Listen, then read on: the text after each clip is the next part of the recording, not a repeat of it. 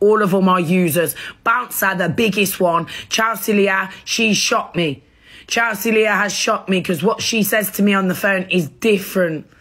I love you, Gemma. I need you. You need to come to my yard, please. As soon as you get to Victoria, yo, taxi it straight on.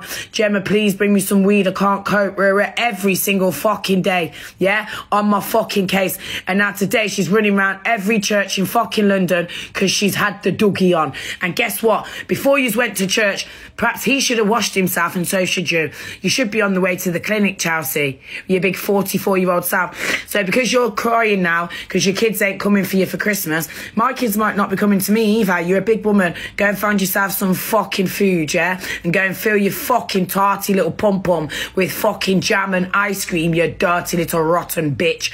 And let me tell you something now. Don't ever fucking come for Gemma, little fucking Ross, because I'll come straight back for you. And see, bouncer, I ain't finished with fucking you yet either, you dirty little grind. Listen, someone phoned my phone and told me he was a fucking murderer and to keep the fuck away from him. You never thought to say that, did ya? Yes, you did. You fucking little rat. Don't fucking come near me and use me.